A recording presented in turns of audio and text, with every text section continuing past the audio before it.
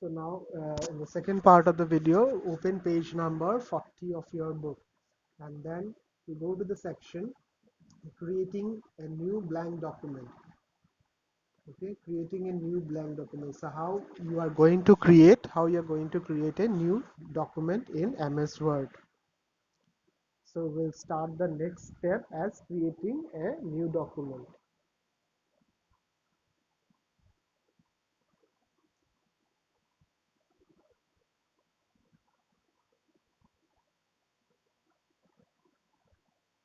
The next step is creating a new blank document. So what are the steps? Let us start. First of all, you have to open MS Word from all programs. Then go to MS Office and click on MS Word 2007. So MS Word 2007 opens up like this. Okay. So after that, to create a new blank document, click on the Office button and click on New and then from the new document click on blank document and click create button in the step number 4 so this is the blank document. It is created. Okay. So like this you can create your own document. After that after creating the blank document from step number 4 so it is given here in the form of pictures just I have shown you. Then comes the document has been created. Then, then comes the section typing your text in the document and then how to save your files. So after the document is created, you will find an insertion point, the blinking line. So the blinking line is the point from where you can begin your typing. Okay. So you can type your content on the workspace area. That is the document area. Like here I'm typing now.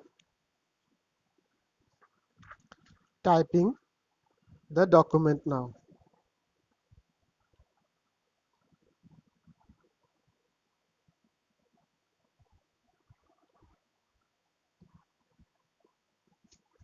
So children, as you have seen, I have typed some words using the keyboard okay?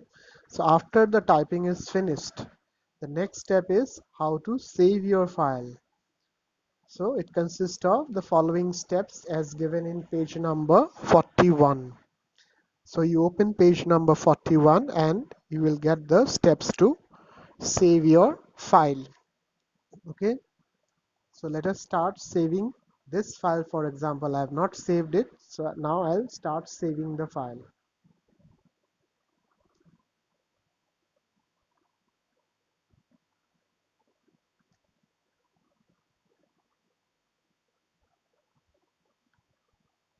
so now I'll start saving the file. So first of all you click on the office button step number one and then you go to save. Okay save button. So when you click on save button a document window opens up. Save as document window. From here you select the place where you want to save your file. So I click on local D drive and class 4 suppose I am selected. And now I have to give a name for the document. So suppose the document name I have given here MS Word 2007. After that step number 3 you have to click here save button. So the word document has been saved by the name MS Word 2007. As you can see the name appears here MS Word 2007.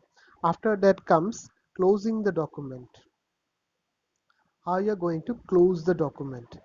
So there are various ways. So next step is closing the document.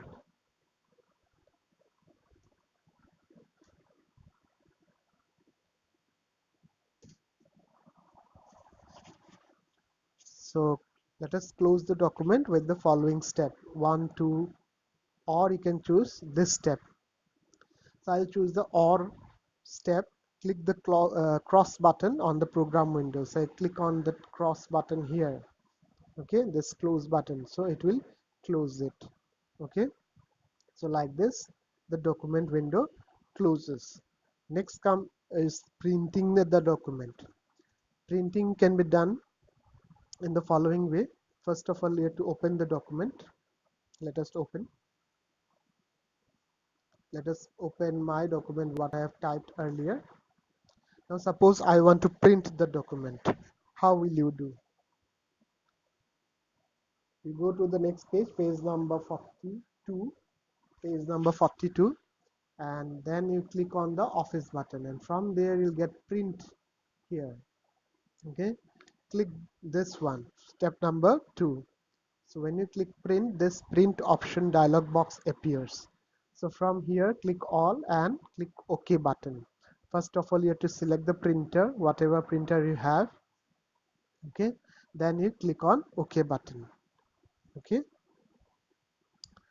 So like this you can print the document.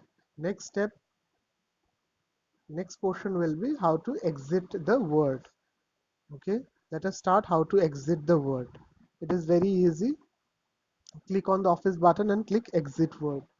From here you can oh, from office button go down and you'll find the option exit word button here. Close it. The ms word window will close. Okay? So next part of the video. In the third part I will start from selecting and editing text. Okay